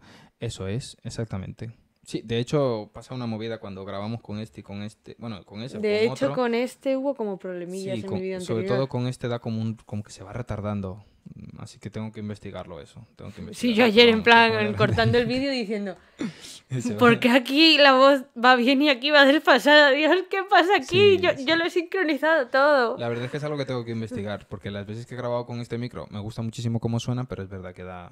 Este se cortaba, cachos, en No, plan... no, no era este, era el otro. Te lo cambié por eso. Ah. Sí, sí, sí. No, pero sí, que se va el directo en hablar del micrófono. Pero bueno, ahí está la gente. Support. Eh, bueno, cos- otras cosas, varias aparte. Off topic otra vez. Anuncios. Eh, el fanzine de Carla. Ah, es verdad, mi fanzine. Mañana van a estar puestos en la web, lo más probable. Si no, de momento podéis escribirme a dief, d i e f carla, arroba gmail.com y apoyarme comprándolo. Son 15 euros más los gastos de envío. Va, los gastos de envío van aparte porque depende de, Depende de dónde vivas. de dónde vivas, pues Claro. más o menos. Y, y nada, que mañana me llegan un montón y que estoy súper emocionada. Así que nada, compradme mi fanzine, jolines. Me ha costado dos años hacerlo. He venido aquí a hablar de mi libro. Soy como los testigos de Jehová. Vengo a tu puerta a decirme, compra, compra. Ven, únete. ¿Has escuchado Es la, como no- la cuando en buena nueva de Senegal- Cristo? Me ponían la pulserita y me, y me hacían, Uh, "Eh, ah, ya tuya, qué bien te ahí, queda. Págala. Dame. Así vamos a ir a tirarle el fanzine a la gente. Ah, ya tú lo tienes ahí, ya lo has visto. Cuando alguien lo coja, No me copias las fotos. yo, eh, eh. Dame. Solo acepto dinero. Vale, eh, luego, por otro lado, seguimos con la pausa publicitaria. Eh, actualmente estoy colaborando en otro canal que se llama SK, que es sobre reviews de tecnología varias, sobre todo relacionadas con el mundo del hardware y del PC y bla, bla, bla. Y, spoiler, el, el monitor que tengo aquí detrás, en, en, el, en este lado, eh, él va a ser de las próximas reviews que haga. Por eso están todos los cables ahí tirados, porque como no se va a quedar permanentemente, no me va a poner a hacer el cable management ahí a tope. Pero eso, que vayan al canal de SK, se escribe tal cual, E E-S-E-K-A. Sale un rapero, así que. Es verdad, también sale un rapero cuando buscas SK. Mejor pero no, poner SK es- Review o algo así. Eh, y estoy, estoy colaborando en ese canal, subiendo reviews, subiendo vídeos ahí, más vídeos que incluso a mi canal, la verdad, lastimosamente. Pero bueno, eso, habrá más vídeos en mi canal. Estoy subiendo eh, más vídeos allí en el canal de, de SK sobre reviews varias. Algunas personas que se han pasado por aquí lo conocen. Y, y eso, que quien no lo sepa, a quien le interese esa temática, que se pase por allí por el canal de SK. El canal de Carla, obviamente, yo creo que todos los que están aquí conocen el canal de Carla, así que también, por favor, pásense por Voy el a canal de dejar un comentario en el directo, siendo pesada con lo del fanzine. Así que por favor. Me cuesta Eh, mucho, me da mucha vergüenza en realidad, ¿eh? O sea, por favor. bueno, compren, compren. No, no, no, no, en plan. No hace falta comprar, pero no, me- no, no me llaméis pesada. Eso es, eso es. Eh, ahora mismo, si queréis, podéis hacer las preguntas de lo que quieran, de cualquier vaina. Vamos a ir respondiendo ya. No sé cuánto tiempo llevamos de directo. Mira, lo Mm, 51 minutos. 51 minutos ya, madre mía. Se me han hecho como 20. Bueno, pues eso. Al directo le vamos a dar unos 20, 25 minutos más. Una hora y cuarto está bien, yo creo. Así que cualquier pregunta que quieran, de lo que sea, de cualquier índole, no pasa nada. Vamos a ir así de, de charleta ya y vayan dejándolo por ahí. A ver, Ali, ¿qué opinan últimamente de la fotografía analógica? Está volviendo y que algunos lo quieren digitalizar en presets de Lightroom. ¿Creen que será lo mismo? Pues mira. Yo creo que está bien. mm, A mí me parece muy bien que la gente imite el look analógico, realmente. De hecho, aquí para hacer publi de terceros, eh, Savage, que es otra persona que tiene otro canal de YouTube, Eso es, de eh, hace, hace fotografía analógica, pero también hace presets para, Eso para es. cámaras digitales. Y yo las fotos que he visto suyas con sus presets están, Están muy bien. guays. Ah, claro, están súper bien. Entonces, yo pienso, por un lado, mm, hace mucho tiempo yo hice un experimento. Yo hice unas fotos en un viaje que hicimos a Valencia y, las, y Carla hizo unas fotos. Entonces, claro, cuando yo vi las fotos de Carla me gustaron mucho los colores y demás. Y yo, por mi cuenta, me puse y dije, ah, pues voy a intentar buscar unos tonos similares. Pam, pam, pam, me puse a toquetear, subí las fotos. Subí una story y, di- y puse, ¿con qué carrete crees que se ha hecho esta foto? Guau, y la gente empezó a contestar. Portra 400. Portra 400, Kodak Color Plus, eh, Kodak Ultra Max. La gente mandaba esos mensajes y yo me reía mucho porque yo lo hice con mi cámara, con mi Lumix, con mi cámara digital. Entonces, yo pienso que al final mucha gente... a- La foto analógica cuando está muy muy bien hecha, digamos técnicamente hablando, eh, en muchos casos puede pasar como una foto digital editada. Eh, lo que pasa es que mucha gente asocia la fotografía analógica desperfectos, cosas desenfocadas, cosas movidas, eh, grano. Eso es como la imagen que tiene mucha gente de la fotografía analógica, pero luego hay personas que, que seguimos que durante mucho tiempo no hemos sabido si hacen foto analógica o foto digital. Lalo Venenoso, Lalo por ejemplo, Venenoso. yo siempre, o sea, hasta que hice su curso realmente no supe, que por cierto, curso que está muy bien en doméstica, yo no supe si, si ella trabajaba en analógico y en o en digital y luego me enteré de que trabajaba en digital. en digital, que hace algunas fotos también en analógico, sí, pero su trabajo es digital Es puramente Y, y, pues edita como edita. Hay veces que parece más analógico, hay veces que menos.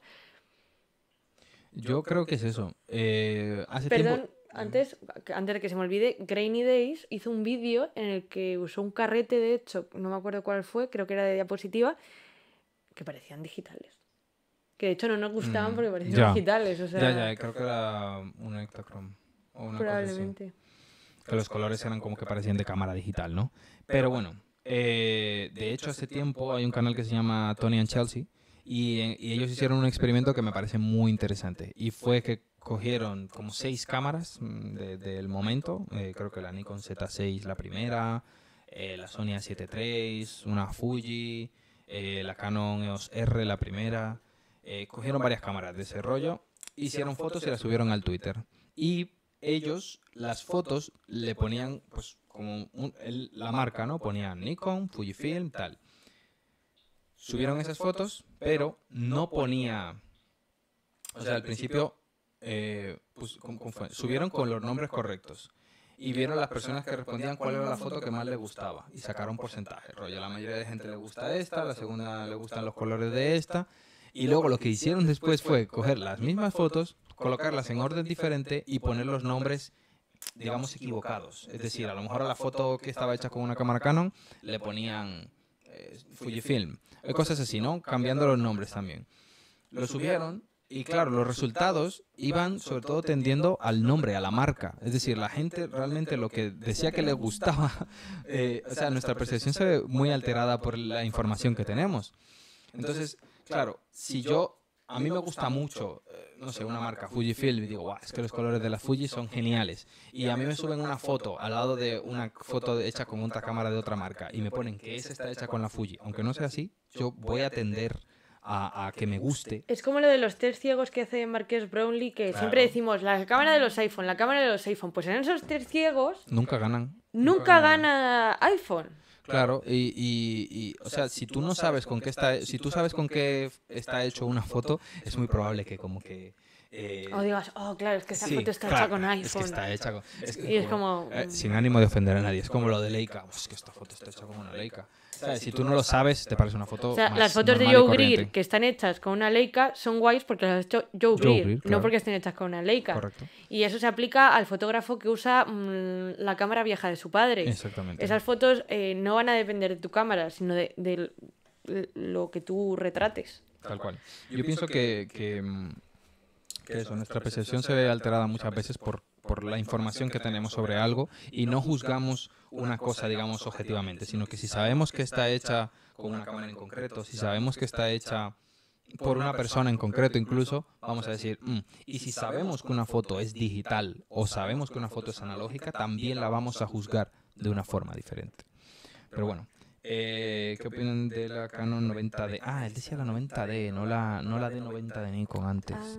Perdón, la 90D no la he usado nunca. eh, yo creo que es una buena cámara, la 80D sé que es buena cámara. De, comparar la 90 de Sí, con la D7500. Es que no lo sé, ahora mismo no estoy al tanto ni de especificaciones ni de nada. Volviendo al tema de antes, yo creo que yo creo que ambas van a ser muy buenas cámaras. O sea, realmente yo creo que tienes que buscar la que más encaje con el tipo de foto que tú haces y listo. No te compliques más. Luego una persona deja un, com- ah, un comentario. Boon raro, Rent, que no sé lo que es. eh, ¿Cómo se llama? Jijiji.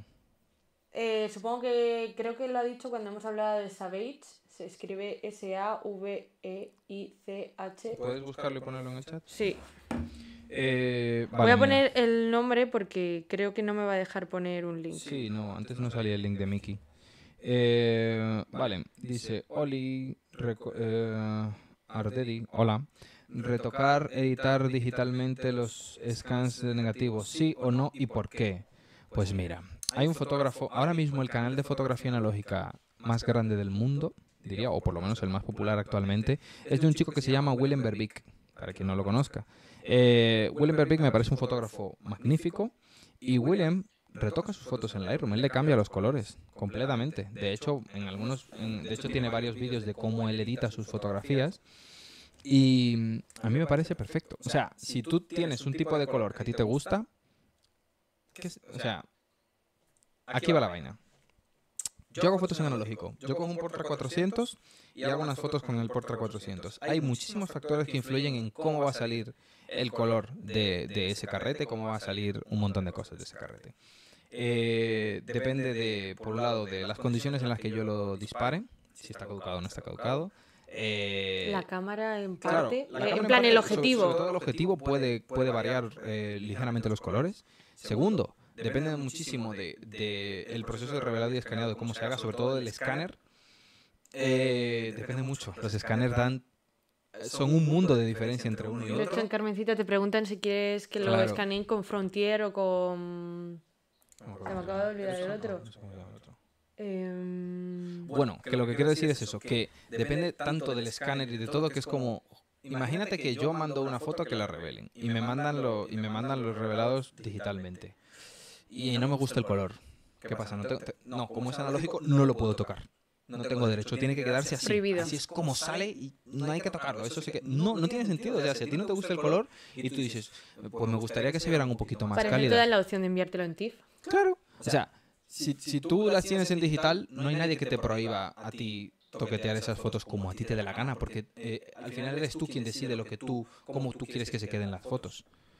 A ver, así que yo pienso que sí, que, se- que si tú quieres editarla lo haces. Por ejemplo, Carla, las que le mandan, yo creo que nunca jamás le ha tocado casi nada. O sea, alguna, quitar Alguna alguna un poco mancha. más luz o Sí, alguna ah. mancha, pero es que desde Carmencita las mandan muy bien, entonces Claro. no hay que Además, o hay muchos- recortarla un poco muchos- porque yo no la haya encuadrado bien. Exacto. Hay muchos laboratorios hoy en día además que te piden a ti eh, referencias para que tú les vayas diciendo cómo te gustan las fotos y ellos te la, te la dan, digamos, lo más masticadita posible para que luego tú no tengas que tocarla, para que tú no inviertas tiempo en eso, ¿no?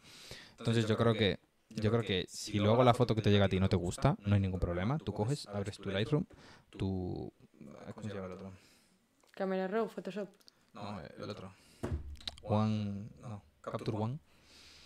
Eh, tú abres cualquier programa tuyo de revelado en tu casa y, y tocas la foto como te dé la gana. O sea, no tiene ningún sentido. Yo creo que muchas veces disparar en analógico no es tanto por el look que te dé, sino porque te guste ese proceso, porque te guste. Yo voy a hacer un inciso en esto. Yo estoy totalmente de acuerdo con eso. Lo único que no veo bien es cuando tú dispares con el mismo eh, dispares con el carrete que dispares, le pones a todas las fotos el mismo color y luego haces una review sobre ese carrete. Es decir, si a mí me escanean las fotos Carmencita, pero eh, se nota diferencia cuando yo hago un carrete u otro. Pero si yo luego en mi casa, eh, como igualase, da igual qué carrete Claro. usara, sino que igualara el, el color, no tendría gracia. Yo eh, hay un canal muy grande que no ve. Sí, no, no pensaba decir el nombre para No, que Bulandes, nadie pensara que Bulandes estoy echando beef ni nada así, sino que creo que no tiene sentido hacer una review de un carrete si tú vas a poner siempre los colores iguales independientemente del carrete que sea. O sea, Bulandes tiene, tiene fotos muy guays y la, la cosa, para dejarlo más clarito, yo creo que lo que le hace es que si, y si te dispara con un Portra 400, con un Fuji O con un 400, Nectar. con un Nectar, con lo que sea, tú ves la foto y parece que están todas hechas con el mismo carrete.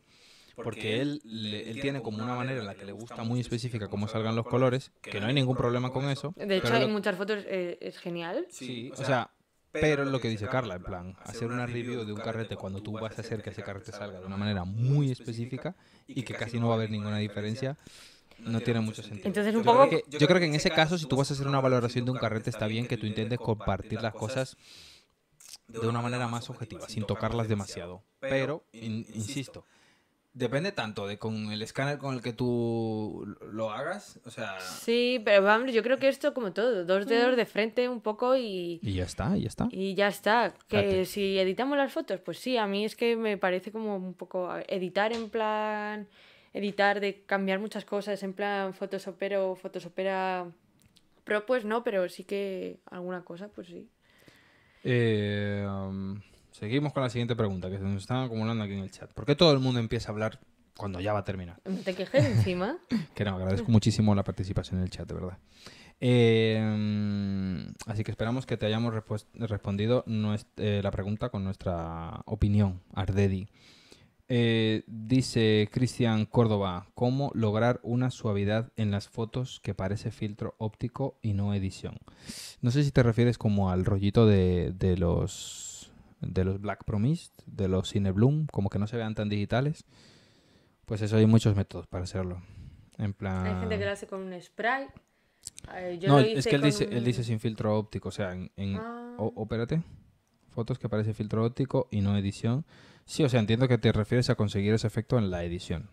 Pues yo creo que... En las altas luces nosotros lo hicimos con, Con Photoshop, sí. O sea, hay muchas formas. Incluso si tú buscas cómo conseguirlo, es que no te voy a dar un tutorial ahora de cómo hacerlo porque ni yo mismo sé así cómo hacerlo. Yo tengo que tener el programa delante e ir probando cositas. Pero bueno, eso. Eh, buenas noches, buenas noches, Manon Racing Fotografía. No sé si te has pasado, si has entrado ahora o si te vas ya. En cualquier caso, buenas noches. Dice, sobre lo que habláis, ahora es lo que me pasó a mí y por lo que agradezco tanto haber vuelto al analógico. Yo fui comprándome cámaras más caras cada vez digitales, esperando mejores resultados. Pero al disparar con analógico me di cuenta de que las buenas fotos eran buenas por la foto en sí, como estaban hechas. Eh, aunque tuvieran mogollón de grano y era con cámaras más baratas. Es que es eso. O sea, muchas veces uno hace una foto es que, es que Mira, dice, fotos con una point and shoot desechable mejores que con una, point and- eh, que con una Sony A7 II. tal cual. Es que de depende de, hecho- lo bueno fo- fotógrafo que seas tú. Claro, de hecho, yo no, no se llega a ver, eh, pero por ejemplo, la foto que está ahí, eh, que está impresa ahí en ese cuadro en grande, detrás de Carla, no se ve. Bueno, y la que está ahí. Esa foto eh, y otra foto que tenemos impresa también en grande, las hizo Carla con una point and shoot que le costó 5 euros. Y muchas de las fotos que ha hecho Carla, que son, que yo entiendo, de las que ella considera sus mejores fotos, están hechas con una cámara Y de las que hay muchas en el fanzine. Exactamente, hay muchas en el fanzine. Compra el fanzine de Carla. Están hechas con una cámara de 5 euros. 5 euros, o sea, what the fuck. Yo pienso que al final hay tantos factores que influyen a la hora de hacer una foto que luego te gusta que la cámara es simplemente una herramienta. Puede ser una herramienta que te facilite más el trabajo, puede ser una herramienta que eh, de, de una diferencia significativa en el resultado A ver, final. el dicho de con buena pizza, mm, pues no suele fallar, pero, Claro, claro. pero si, si tú partes de ya saber, o sea, una persona que no ha hecho fotos en su vida con una Nikon de 750 no va a sacar buenas fotos, Claro. por muy buena que sea la cámara. No, o sea, es que es eso. De hecho, también lo comenté en un vídeo hace, hace no mucho. Bueno, hace mucho, hace mucho que no subo muchos vídeos. Eh, lo comenté en un vídeo que, que el, el equipo importa, sí, pero hay que saber usarlo. O sea, el equipo es importante, por eso existe equipo caro. Por eso hay cámaras que cuestan 20.000 euros. Eh, las, las Hasselblad de formato medio digitales son caras y dan unos resultados Bueno, esas no valen increíbles. 20.000 euros, esas valen 2.000, pero sí, las Arri... No, no, no, no, digo Hasselblad eh, digitales de fotografía. Ah, vale, vale. Sí, sí, hombre, y 25.000 Sí, euros. sí, Sí. Algunas solo tienen, solo hacen foto en yo, blanco y esta- negro. yo estaba incluso. pensando en analógico. No, no, no. Pero que te digo que esas cámaras eh, eh, son carísimas por algo. Y hay gente, y existen por algo. Hay gente que las compra y hay gente que las utiliza porque busca eh, una calidad determinada para unos propósitos muy determinados. Eh, el equipo importa, pero hay que saber usarlo. Tiene Hasta que tener un cierto propósito. punto. Claro, claro.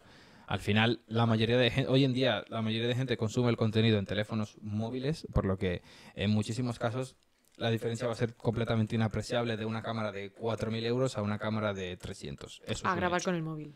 O sea, Incluso. es, que, es que eso es un hecho. A ver, dice, eh, tengo una Nikon de 750 con menos de 600 disparos. ¿Vale la pena mantenerla o sería mejor venderla y comprar algo más tipo Sony 73 o así? Podría usar como una capturadora como, como webcam, gracias. Puedes utilizarla, Nikon tiene puerto mini HDMI, si mal no recuerdo. Eh, puedes conectarle un puerto, puedes conectarle un cable y ya tiene salida de vídeo y la puedes usar. Eh, si vas a hacer mucho vídeo, pues la D750 no graba en 4K, eh, la cámara lenta que tiene máxima es hasta 60 fotogramas. Es que depende mucho. Si le vas a dar uso a las características que vas a obtener en la Sony, cámbiala. Pero la 750 que tienes está nueva. 600 disparos es completamente nueva. Aunque fuesen 6000, aunque tuviese faltado un cero, está nueva. O sea, esa cámara está nueva. Y luego dice M, gracias por desmontar esas reglas de puretas. Ya, es que los puretas da igual de lo que sean, son muy pesados Sí, en general. O sea, te quiero decir. Es que no tiene sentido. Es, es que no ti- es como. No, es que las cosas tienen que ser de una manera muy concreta. Es, que- ¿qué- qué Es como la gente que dice, buah, el reggaetón. Es, es la misma gente que dice, buah, edita las fotos. Tal cual. Las es como- es como... Sí, o incluso en la Ay, foto por favor. En la foto digital, yo recuerdo en la foto digital cuando yo empecé que había gente que le quitaba mérito a editar las fotos. No, es que este edita mucho las fotos. Y, y mis fotos son más valiosas porque yo las hago y así se quedan. Tal y Es como mi las- personalidad, no editar las fotos. Es como, vale, tu Es personalidad es una tontería, mierda. Es una Un tontería. saludo. O sea, lo siento, pero te quiero decir, tú, no sé, yo siempre lo comparo con la pintura. Yo siempre comparo la fotografía con la pintura, porque como que parece que cuando es otro tipo de, de rama artística lo vemos de una forma totalmente diferente, ¿vale? Eh, la pintura es como, yo pinto mi cuadro como a mí me da la gana. Eso es así. Yo pinto mi cuadro como a mí me da la gana. Y si yo una vez lo he pintado, luego le quiero hacer arreglos, lo puedo hacer porque es mi cuadro. Y yo lo enseño cuando yo quiero y yo le hago lo que me da la gana porque es mi cuadro, es mi creación, es mi... ¿Sabes? O sea, es que no tiene sentido. Tú puedes editar tus fotos como te dé la gana. Es que, además, una cosa que me, que me, que me calcome muchas veces es... mucha gente, eh, por ejemplo, la fotografía analógica concretamente, eh, está muy de moda todo lo de hacer eh, carretes caducados, eh, lo de pushear o pulear los carretes, revelarlo con sustancias varias misteriosas. O sea, saltarte todas las cosas que se supone que hay que hacer bien en un carrete. Es decir, dispar- disparar, digamos que el caso idílico sería disparar el carrete antes de que caduque, dispararlo al ISO que te marca, eh, eh, revelarlo en las condiciones que se supone que tiene que ser revelado, ¿no? Para que el carrete salga de la mejor manera posible, según la empresa que lo ha fabricado. Pero hay gente que no, hay gente que, vamos, eh, que, que le hace todo lo que le puede hacer al carrete, o sea, que lo, lo mete en café, luego lo mete en la cámara, lo dispara, se lo pasa a su primo para que lo dispare, eh, eh, espera que se caduque para, no sé, o sea, te quiero decir, y luego esa gente es la gente que va y, y te, y, te, y te critica tus fotos y es como, pero vamos a ver, o sea, entendemos que tenemos gustos estéticos muy diferentes. Que digo que el otro día eh, disparó yo un Fuji Superia Extra, creo que fue. Y viene uno y me dice: Habla un poco más alto. Es un carrete para verdes. Para dispararlo en En zonas zonas verdes. verdes y es como, bueno, Y es como. mm, porque tú lo digas. Sí, o O sea, sea, quiero decir- porque será un carrete que a lo mejor los verdes salgan mejor, pero no lo voy a, no, o sea, no sé, Claro. en plan, eh, hay gente que está mm, metiendo el carrete en, en su zumo de piña y me vas a decir a mí que mi carrete, que el carrete que he hecho, eh, no, o sea, las fotos que he hecho son menos guays porque le he hecho fotos a una gasolinera naranja y no a un Mm, Sí. prado verde. O sea, ¿qué me estás contando, tío? Sí, o sea, yo pienso eso. O sea, no- Vete a comerte unas galletas y un colacao, o sea, déjame en paz, no pongas este comentario. Vuelvo a lo de la pintura. Si esto fuera un cuadro, tú pintas como a ti te da la gana, pues en la fotografía igual, tú lo haces como tú quieras. Cada uno tiene sus gustos estéticos y ya está. O sea, no hay una manera mejor o peor de hacer las cosas. A no ser que yo tenga una duda muy técnica de, ah, mira, es que me ha pasado esto y no sé qué puede ser, y alguien venga y me responda, ah, pues mira, esto puede ser esto tal. Ahí sí, guay, pero mm, decir que una foto es mejor o peor, por, no- no- para mí no tiene sentido. No, pa- Cada uno que haga lo que quiera. Vamos a, a- a leer el chat que se Sí, que nos enrollamos como personas. Eso es. Dice, pero toquetear las fotos como a ti te dé la gana da un poco de pena. Se pierde un poco la magia. Es que yo pienso que... O sea, es que magia, magia es que salga lo que tenga que salir. Es que, pues sí, o sea, te quiero decir, no es que se pierda la magia, es que si tú no lo quieres hacer, no tienes por qué hacerlo. ¿Sabes? Esto se lo digo a, ¿a quién? perdón, a Rubén Ramírez. A ver, yo creo que la magia la pones tú. Sí, también es eso. O sea, te quiero decir, vamos a ver. Vamos a ver. Si yo soy un mago y hago magia, pues hago la magia como me da la gana. No sé, la magia la pongo yo, no lo hace el... O sea, te quiero decir, si yo meto un carrete en una cámara y la dejo ahí quieta, no se van a hacer las fotos. Entonces, soy yo quien hace las fotos, soy yo quien procesa esas fotos. Yo lo hago un poco... Pero bueno, lo dicho, que te quiero decir, si tú consideras eso, no hay ningún problema. O sea, si tú quieres hacer las fotos y dejarlas como salgan, perfecto. ¿Sabes? O sea, es que no hay nada. Si tú luego quieres esas fotos eh, editarlas, también no hay ningún problema. Eso ya va a gustos, como he dicho. María García, que el medio, dice, que el medio sea analógico no quiere decir que sea intocable o que tengas que conformarte con lo que obtienes de la... Exactamente, de. Al final el escaneado es subjetivo totalmente, se puede eh, poner de mil maneras. Es así, es que tú coges un escáner y pones unos carretes y tienes 20.000 cosas que puedes cambiar. De hecho, nosotros el otro día. No voy a decir con qué, porque he firmado que no lo voy a decir. Entonces, al canal. Eso es. Eh, pero el otro día estuvimos escaneando unos negativos y a nosotros, o sea, nos salía un color muy diferente a los de los laboratorios. O sea, Tal cual. era una cosa totalmente diferente y no por eso dejaba de ser mi foto. Exacto. Y los colores eran otra historia. O sea, es que depende tanto de... Que eran un poco porquería. Sí. Pero, eran método, mis colores. Ya habrá vídeo en el canal de Carla. Ya habrá, ya habrá vídeo en el canal de Carla. Eh, dice, ¿sabían que Nikon estuvo involucrado en toda la serie de Euforia? Ah, pues yo no lo sabía. No. ¿Sabían que Nikon Y tiene, un- y tiene unos colores increíbles, me Pero parece. como que involucrado, no entiendo. Pues supongo que habrá puesto cámaras, objetivos o algún tipo de medio a la hora Sí, de no sé. grabarlo. Vale, eh, de hecho no he visto Euforia. Eh, me vi la primera temporada, es brutal. Realmente estoy impaciente por verme la segunda, pero tengo que quedar con mi madre. Y pues la vida a veces no da de sí. Ah, sí. Además, Dice- está en HBO y no en Netflix. Estoy, me siento traicionada. Eh, pone Rubén Ramírez, Xavi, BSA, yo, si tienes objetivos. Ah, le está respondiendo. Cristian, con el filtro óptico también, es que no sé cómo lo hacen. Lo del Cinebloom está genial, claro. Es eso, sabía que iba por ahí los tiros. Cinebloom o, eh, ¿cómo se llama? O Black Promise. Ah, también KF Concept ha sacado... Sí, también sacó un filtro difusor. Está muy de moda hoy en día. A mí me mola, ¿eh? Yo, yo quiero, conseguir uno, sí, pero... Yo también. Yo también. Ey, siguiendo tendencias a tope. Hombre, mm, porque una cosa sea tendencia no me va a dejar de gustar. Claro, claro, claro. claro. Eh, la fotografía analógica os ha hecho mejores fotógrafos, os ha cambiado vuestra forma de ver o de mirar de alguna manera. No, me he hecho mejor fotógrafa yo misma. ¿Qué carajo a, eh, atribuirle el mérito a otras cosas? A ver, a mí, yo entiendo por dónde va la pregunta. A mí sí. O sea, te quiero decir, yo cuando estuve haciendo fotografía analógica hace tiempo, mi intención era mejorar como fotógrafo. O sea, yo hacía muchas fotos porque me habían, desde mi punto de vista, mal acostumbrado a la cámara digital a hacer muchas fotos, ¿no? Y llegar a casa después de una sesión de fotos y tener 600, 1000 fotos. Y era como, uff, aquí hay mucho trabajo que hacer. Y realmente yo pensaba muchas veces, es que luego cuántas fotos saco buenas, 10, 15, 20, de todas estas que he hecho, pues entonces probablemente si me detuviese, si fuese más despacio, haría mejores fotos, eh, o sea, menor cantidad de fotos y saldrían la misma cantidad de fotos buenas. Y efectivamente, por eso decidí hace tiempo eh, hacer unos cuantos carretes en analógico y me sirvieron para aprender muchísimo, para ir más despacio, para pensar mucho más la foto antes de hacerla y hoy en día cuando estoy haciendo una sesión de fotos hago, vamos, no sé, una tercera parte de las fotos que hacía o menos, o sea, muchas menos fotos tengo mucho menos trabajo luego en casa precisamente por eso. Y considero que incluso el porcentaje de fotos buenas es muchísimo mayor. Mira, pues yo después de este último viaje no creo que eh, el analógico te haya hecho hacer menos fotos, sino tú te has dado cuenta de que con... O, sí. sea, con, o sea, que tienes que pensar más las fotos. Porque yo, por ejemplo, en este último viaje he hecho 500 fotos. Claro, pero te quiero decir, yo, yo entiendo que se refiere un poco como al, al, al proceso de hacer fotografía en analógico, si, eh, si nos ha, eh, si, si, ha repercutido en cómo hacemos fotos en digital o en general ha repercutido en nuestra manera de hacer fotografía. Y yo considero que sí. Pues yo, por ejemplo, cuando hago sesiones de retrato, hago mil fotos igualmente. Ahora, pero eso es una, yo creo que eso es una tendencia que tú has cogido ahora porque tú tiempo atrás hacías bastante menos fotos también.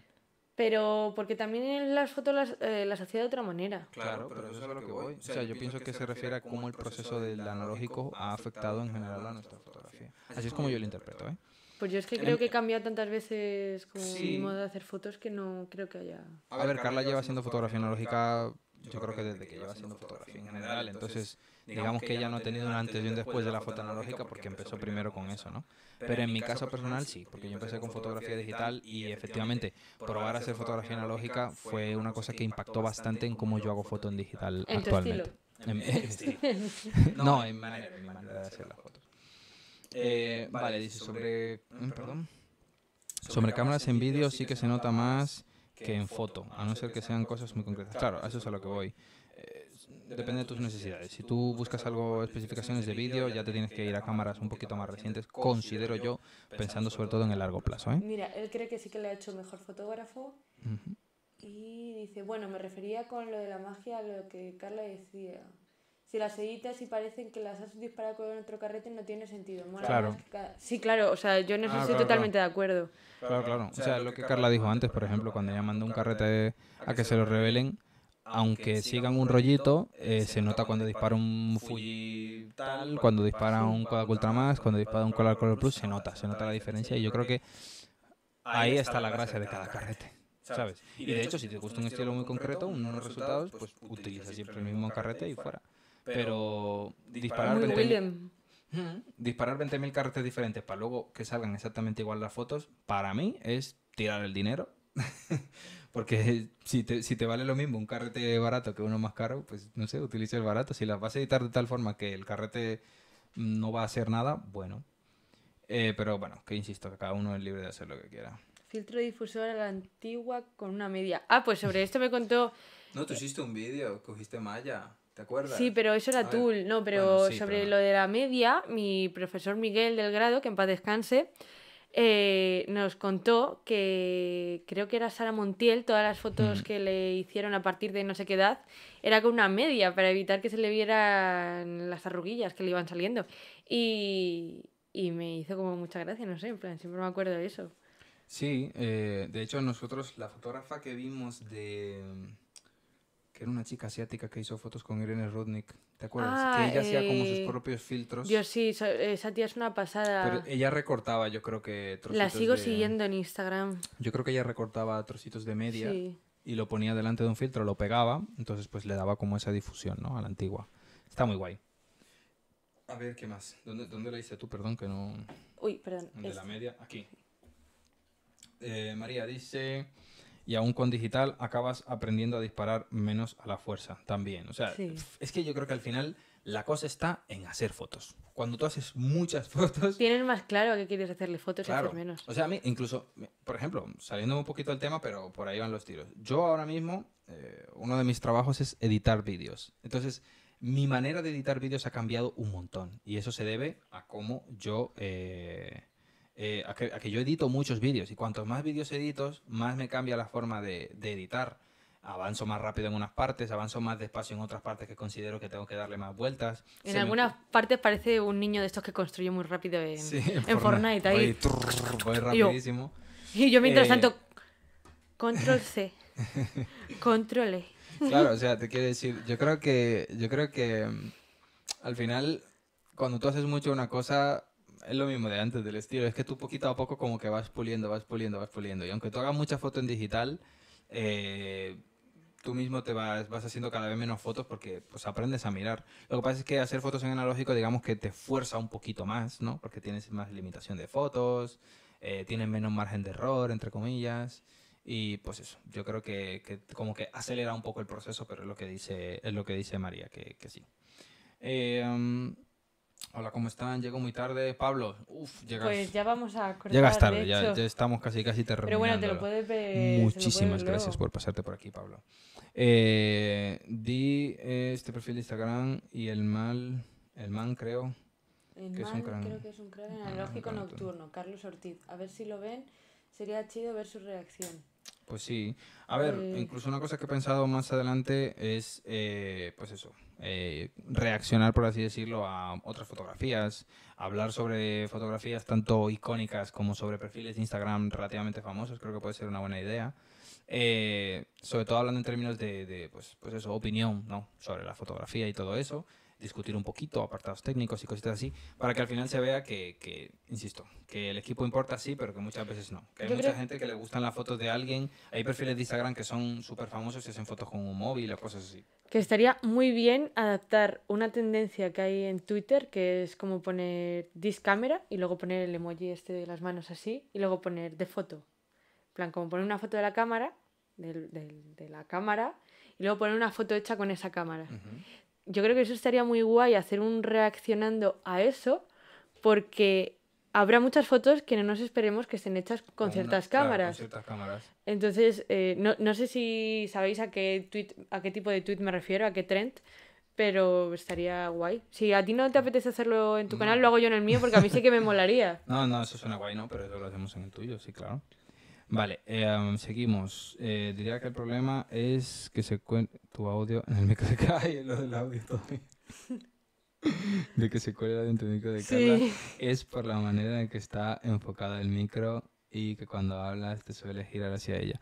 Es que No, mi micro es, eh, coge el audio por aquí. Sí, no, a ver, es que su micro coge el audio, o sea, su micro está correctamente colocado y este también. O sea, eso sí que lo sé. Eh, la cosa está, la- el asunto está en que el micro de Carla es un micrófono de condensador, recoge más audio de todos los lados, mientras que mi micrófono recoge el audio concretamente desde arriba. Entonces, pues eso, el mío aísla muchísimo mejor lo que ella dice, pero el suyo no. De hecho, nos pasa cuando jugamos, que jugamos a veces con micro para podernos escuchar y yo me escucho a mí mismo cuando hablo en su... Eh, ah, sí, sí, a mí también me contaron en la FP, lo, que contabas tú de antes de, de lo de la media y todo eso. Eh, ¿Has usado filtro polarizador? Nunca he usado. Lo más cercano que he usado, bueno, Un ND, ¿no? sí, el ND, que al final es una combinación, ¿no? De polarizador y... Un ND variable, perdón, que es combinación de polarizador y tal, pero filtro polarizador a secas, nunca. De hecho, creo que una vez puse uno, no me acuerdo, no me acuerdo de la situación muy bien, para ver lo del tema del cielo, que se supone que... Los que yo tengo aquí que me dieron en la tienda hace Sí, años. Puede ser uno de esos, pero darle como darle uso y tal, no, no lo he hecho, la verdad. Dice, ¿qué onda? ¿Cómo están? Saludos desde Chile. Pues ya, Saludos. saludos, pero ya vamos a Saludos cerrar. y despedida, sí, porque Eh, ya vamos a eh, cerrar. quien quiera verlo, pues luego estará en el canal de Manu, esto forever, Eso así es. que Esto se va a quedar aquí para siempre. echarle un ojo, comentadlo, dejarle ahí, comprad mi fanzine. Que nada, agradezco. Ya nos vamos a despedir, ¿vale? Porque ya es relativamente tarde y hay que terminar, hay que cenar. De hecho, Tienes que hablar a tu mm, micro. a mi micro. En lo de los fanzines, que gano muy poquito porque la producción al final del fanzine es lo que se lleva la gran parte de la Mm. pasta, pero lo que, lo que gane con los fanzines lo voy a dedicar a hacer más fotos, porque en abril pretendo volver a ir a Senegal y bueno, este año pretendo ir a Senegal, a Corea, a República Dominicana y a, y a Nueva York, así que todo el dinero va a ir destinado a, hacer fotos en esos A sitios. los viajes de Carla. Sí, sí. De hecho, estoy vendiendo mazo de equipo por Wallapop, ropa por Vinted, todo para, para hacer más fotos. Eso es. Y de hecho, en, pues en verano pretendo sacar un fanzine de, de, de Senegal. Así que a ver qué tal.